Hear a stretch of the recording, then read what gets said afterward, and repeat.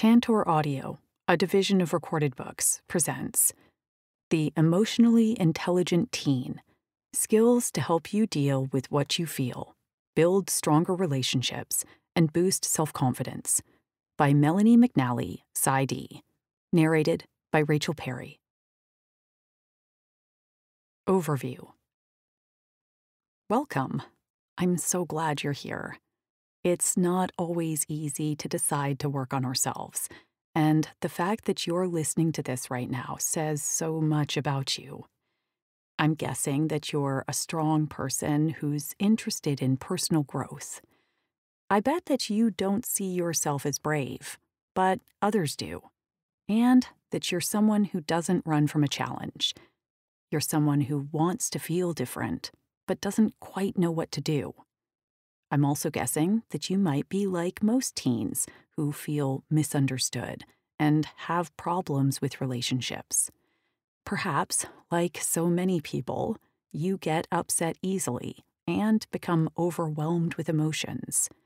And just like most of us, you don't want to blow up easily, fight with your family or friends, or worry constantly, but really don't know how else to manage your feelings.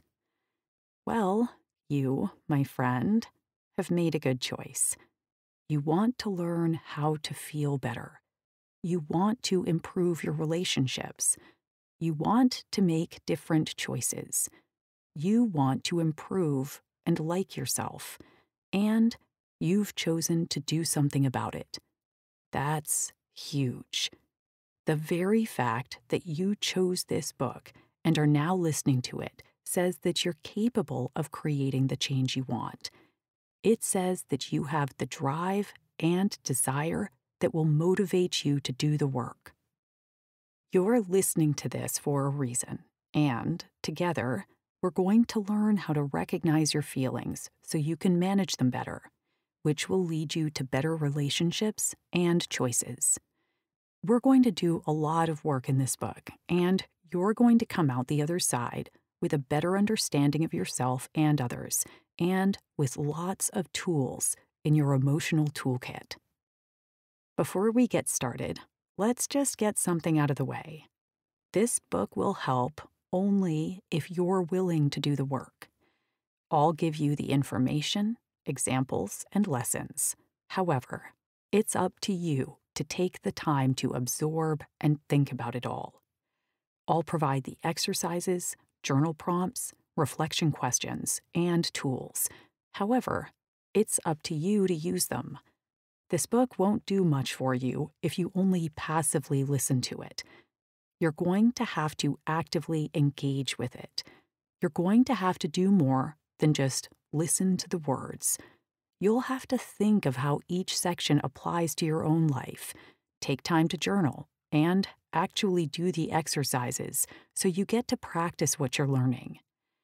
It's kind of like in school how you perform better on tests when you use more active forms of studying, like attending study groups, watching videos on the content, talking about the material with your peers, or drawing diagrams or maps to better understand connections and timelines. You know how sometimes you skip all those things and just reread the text and notes, go through flashcards mindlessly, and then wonder why you didn't do as well as usual. It's because rereading is a passive form of studying, and our brains do much better when we study and learn in the more active ways of study groups, videos, talking, and drawing mentioned before. If you want to get the most you can out of this book, engage with it in an active way, not a passive way. To actively engage with this book means to pause and reflect on sentences or paragraphs so you can think about how it applies to your own life. It also means to have your own personal journal next to you when listening, to take notes, answer reflection questions, and respond to journal prompts. There will be exercises and tools included in each chapter, so make sure you try each one out. You'll get so much more out of this book and will create the change you're looking for if you do these things. What is emotional intelligence? Emotional intelligence is the ability to notice one's own and other people's emotions, to be able to tell the difference between emotions and label them appropriately, and to use emotional information to guide thinking and behavior. Emotional intelligence is made up of three components emotional awareness, self regulation, and interpersonal skills. To understand what it means to have emotional intelligence, let's first define each component.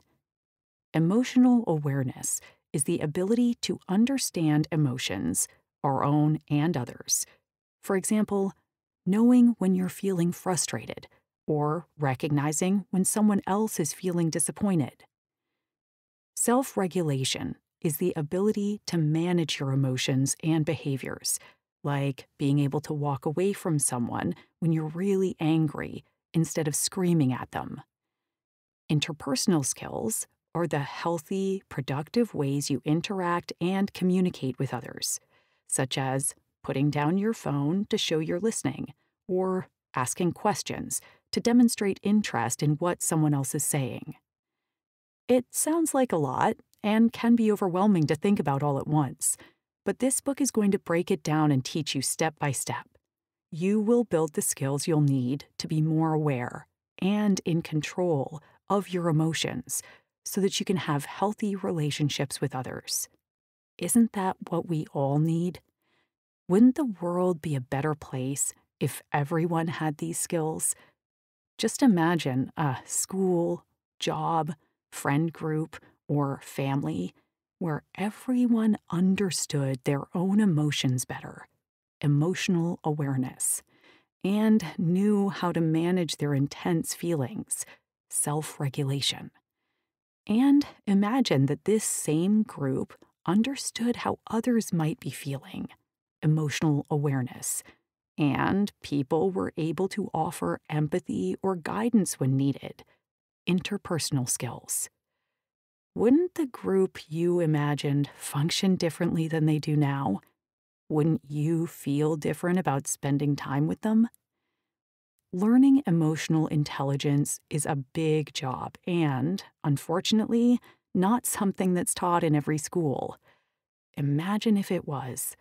What a different world it would be if emotional intelligence was a subject in school, just like history, math, or science being emotionally intelligent doesn't just come with age either. It's something that we must consciously learn and work on. There are a whole lot of adults out there lacking emotional intelligence. Just think of the adults in your own life.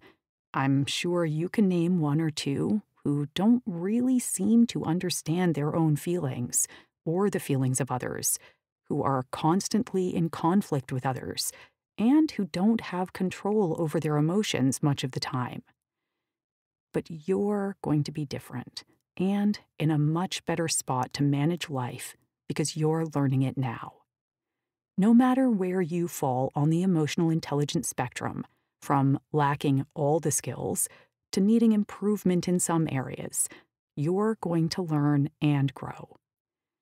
We already learned the components that make up emotional intelligence emotional awareness, self regulation, and interpersonal skills. In this book, we're going to break these components down further so that you have a strong foundation to build upon. We're going to focus on the foundational skills of emotional intelligence, the building blocks that are essential to our emotional health. These foundational skills include self awareness of emotions, thoughts, and behaviors, understanding physical sensations, awareness of others, and self regulation. Once we're able to use these foundational skills well, we're in a good spot to create goals that are truly aligned with what we feel. We're better able to communicate our feelings and needs, and we can manage our own hard feelings like stress, anxiety, and depression much better than before. Becoming more emotionally intelligent involves multiple steps and lots of work. We don't just memorize the steps and then voila, we're emotionally aware, in control, and done. If only it were that easy. No, we must learn the steps and then implement them day in and day out. We must practice, talk through, journal, and work on the steps over and over until we start noticing change. And then we keep working, because it's not something we learn and finish, it's an ongoing process that we work on all our lives. The importance of emotions. Emotions impact everything. How we feel impacts everything. And I mean everything. You think I'm exaggerating? Let's take a closer look. Danica is a 16 year old high schooler who awoke this morning to her parents arguing. She pulls herself out of bed thinking that her parents' argument means they're divorcing, just like her friends' parents who constantly fought before finally getting a divorce. She isn't noticing how this thought makes her feel, but instead realizes that her stomach hurts a bit. She doesn't want to upset her stomach further, so she decides to skip breakfast. She barely acknowledges her mom in the kitchen as she makes her lunch for school and then leaves. As she pulls into the school parking lot, she finally notices how she's feeling irritated. She's irritated by having to park so far away from the main doors, irritated by all the smiling faces, irritated that her stomach is growling, and irritated that she forgot an assignment at home. When she runs into a few friends near her locker, they jokingly comment on how she's late yet again which causes her irritation to bubble over into snapping at them. They tell her she needs to learn how to take a joke and chill, and they walk away, leaving her feeling even worse than before. Danica's emotions affected everything. You might be thinking, it's not her emotions that affected everything, it's the circumstances that ruined her morning. It was her parents fighting, having to park far away, being hungry, and her friends teasing her. We'll break down Danica's story a bit in just a moment and see if you think differently. Emotions are part of your life whether you're aware of them or not. They're part of the human experience. Emotions can be positive or negative, and what's more, what we do with our feelings can have positive or negative consequences. The consequence part is usually the area we focus on, not the feelings that caused the behavior that led to the consequence. We're going to focus on awareness of emotions and awareness of behaviors in this book so that you learn how to separate feelings and behaviors. Let's consider Danica's story again. What if she had been working on becoming more emotionally intelligent? How might her morning have changed? What if Danica had taken a pause to consider how she felt, self awareness of emotions, and what she was thinking, self awareness of thoughts, when she awoke to her parents' argument? What if she noticed how her body was reacting and knew what those sensations meant? understanding physical sensations. What if her self awareness caused her to do something about her negative feelings? Self regulation. Let's change her story to reflect that process. Danica is a 16 year old high schooler who awoke this morning to her parents arguing. She takes a moment to notice that her body feels tense, her jaw is clenched and her shoulders are pulled up toward her ears. She realizes that this tension means she's feeling anxious. She also notices that she's thinking that her parents have been arguing a lot lately, that her friends' parents argued all the time before they divorced, and that she's wondering if her parents might also divorce. She decides to take a couple of slow, deep breaths she tells herself that she's safe and that her parents' argument doesn't mean they're divorcing. And she gets out of bed. She notices that she's still a little anxious, but not as bad as a few moments earlier. These simple acts of self awareness and self regulation will likely change Danica's entire morning. She's now feeling more relaxed and can eat breakfast, which will decrease her irritability. What if she also notices how a parent is feeling? Awareness of others' emotions. Let's see if that changes anything else for her. Danica enters the kitchen to grab breakfast and make her lunch for the day. She sees her mom sitting hunched over at the table, staring into her coffee cup. Danica recognizes her mom's posture and body language and thinks her mom might be feeling hurt. She asks, Are you okay, Mom? Can I sit with you? Her mom notices Danica and smiles. That's sweet of you, honey. I'm okay. Dad and I just can't seem to agree on a big financial decision, and it's stressful. We'll figure it out eventually, but it just feels really hard right now. Danica feels relief in knowing more about their argument and hearing her mom's perspective. She sits down with her to eat her cereal, and they talk about the huge thunderstorm that shook the house the night before. Danica is likely to feel less stressed and anxious leaving the house now that she knows what the argument was about and isn't worrying about her parents divorcing. She might even play her favorite song as she drives to school, which will make her care less about having to park far away and to feel less irritated in general. Her mood will be completely different when she approaches her friends, and their teasing might make her smile instead of snarl. She started off with self awareness of her feelings, thoughts, and physical sensations, used a self regulation tool to feel less anxious, and was considerate of her mom's feelings. By using some of the skills that you'll learn in this book, her morning completely changed. How this work changes you. Adolescence and young adulthood are full of ups and downs.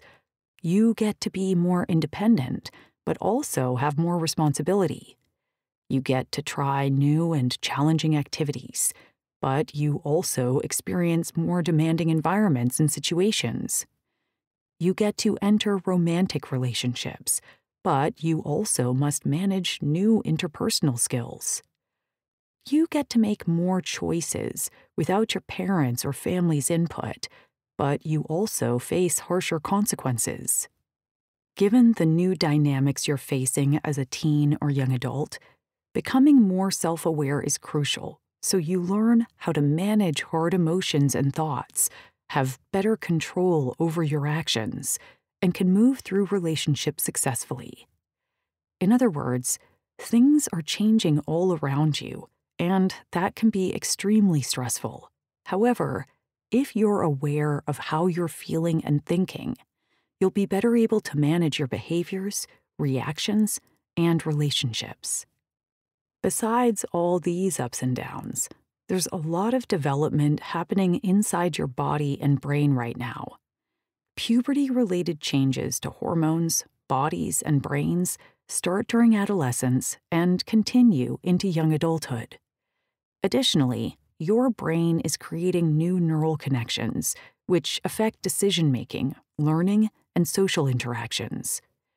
All this change and development means that you're growing, maturing, and evolving at a rapid rate during this period.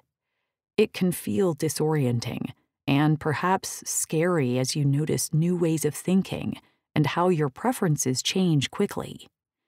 Maybe you used to love playing the piano in front of others, but now find that you don't.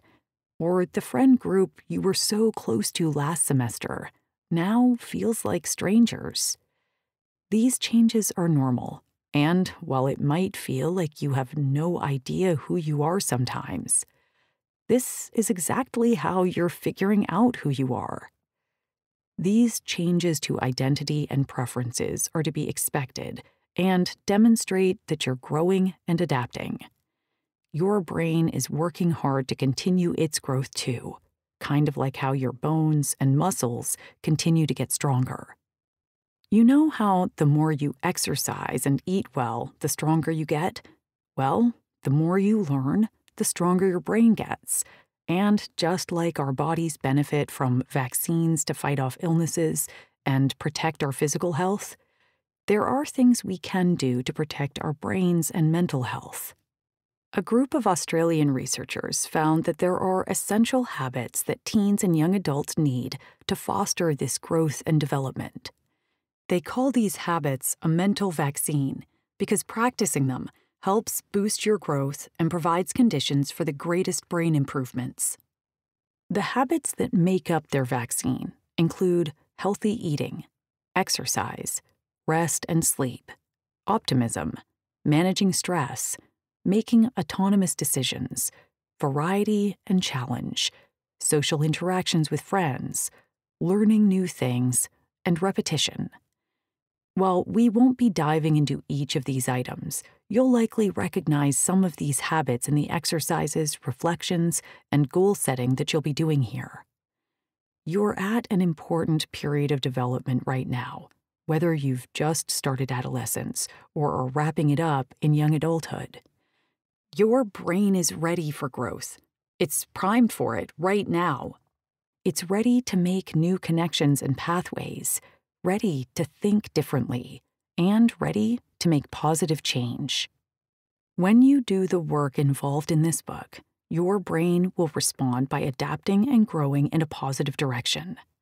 You can and will feel, think, and behave differently, which will in turn change how you interact with others. This is possible at any stage of life. However, it's the most doable at the phase you're in right now. I honestly can't think of a more important thing to be doing. How to use this book.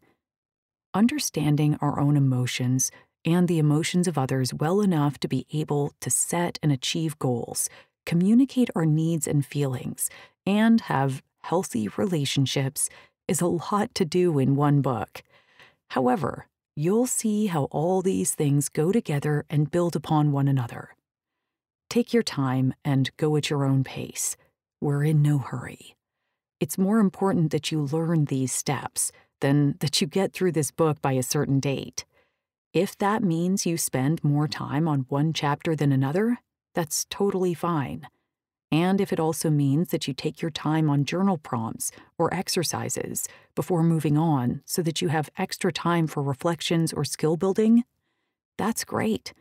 You're learning in your way and on your timeline. You'll notice that within the chapters are exercises for reflection and practice. Sometimes you'll be asked to grab your journal and respond to questions or prompts. Those are good spots to really pause and think about what you're learning and how it applies to your own life. There are also sections that provide step by step directions so that you can work on what you've learned in the real world. Additionally, you'll notice vibe checks later in the book. Vibe checks are there to help you stay on track with the goals you'll set during Chapter 4 and are a chance to reflect on your progress. Coasting and getting stuck. Learning new things can be difficult, and getting stuck is to be expected. If you're not being challenged to think differently, then you're not truly learning, are you? Think about a class you've taken where you barely had to pay attention and aced all your tests and assignments. Did you really learn anything in that class, or were you just going through the motions of learning? If you find this happening sometimes in this book, if you realize you're coasting, and not really paying attention because you're already familiar with the concepts, I suggest using that time as an opportunity to go deeper. Sydney is bored out of her mind in her culinary arts class. She attended a specialized camp last summer for aspiring chefs, where she spent two weeks creating complex menus, cooking elaborate meals, and working with a team of seasoned chefs. When her high school teacher assigns the project of cooking your favorite meal, she groans with boredom and wonders why they couldn't do something a little harder. When she complains to her parents over dinner about the lack of creativity in this assignment, her mom suggests that she turn it into something more. Sydney considers this idea and, later that night, sits down and brainstorms until she comes up with something she'd be proud to share with the seasoned chefs from camp. When the day comes to present her favorite meal, instead of cooking it ahead of time and putting it on a plate in front of her teacher like each of her peers does. She dims the lights, plays music, and walks her entire class through how to cook the meal from start to finish, all the while sharing stories about why she loves this meal and what each ingredient means to her. Sydney chose to go deeper rather than to coast. Going deeper in this book means pausing and reflecting on how something applies to you, even if you think you've already mastered the area. Think about yourself in different contexts and situations, and with different people around. How might the material apply then? Going deeper also means checking in with others to see if your perception of yourself aligns with others' perceptions of you. For instance, you may think you're great at noticing how others feel and don't really need to spend much time on this area. You may think you're an incredible listener and understand social cues really well. Ask some trusted family members and friends for an honest assessment. Ask them if they feel heard when in conversations with you. See if they feel like you understand when they're upset and why. Or perhaps you think you manage your feelings well and don't need to practice new self regulation tools. Check in with a parent, coach, friend, or teacher, and ask them if they notice when you're frustrated, irritated, or overwhelmed. How do they observe you handling those tough feelings, and what do they think you need to work on? Now, think of a class that drove you bananas, where you had to meet with a tutor, attend study groups, see the teacher during office hours for questions, or wanted to pull your hair out. What did you end up learning in that class? After you scream, nothing, take another look. I bet you learned some things in that class that are still with you today. Perhaps physics made sense in college because of that challenging high school class. Or maybe you realized you're a really hard worker and can succeed when you put in effort because of the music class you struggled through in middle school. Paul feels stuck in his geometry class and is starting to think he'll never be able to major in engineering in college like he planned. As he sits down with a friend to study for an upcoming test, he notices how fidgety his body feels and how irritated he is by his friend's gum chewing. He begins thinking, I'll never get this. And I should just find something else to major in at college that doesn't involve math. When he gets up to use the library bathroom, he catches his reflection in the mirror and realizes how irritated and fidgety he feels, and that he's thinking negative and unhelpful thoughts. He knows he needs to do something different, or he isn't going to break this cycle.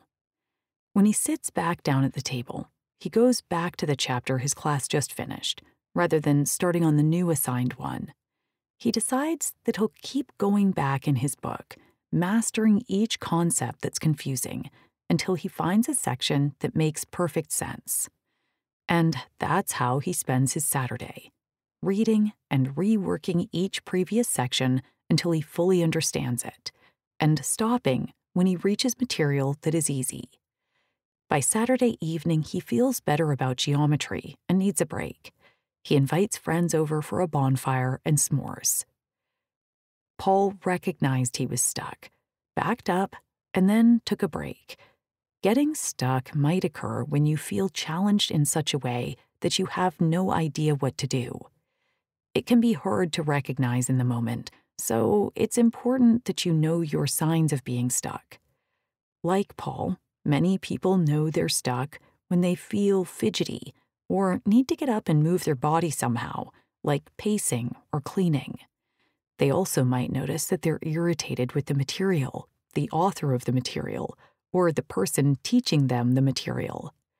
Some people even become irritated with themselves when they're stuck and, like Paul, engage in negative or harmful self talk. For example, I'm so stupid, or I'll never learn this, or what's the point of getting this? It's not going to help me anyway. Self talk is defined as statements, phrases, or cue words that are addressed to the self, which might be said automatically or strategically, either out loud or silently, phrased positively or negatively, having an instructional or motivational purpose, an element of interpretation, and incorporating some of the same grammatical features associated with everyday speech. Essentially, if your thought is directed. We hope you enjoyed this preview. To continue listening to this audiobook on Google Play Books, use the link in the video description.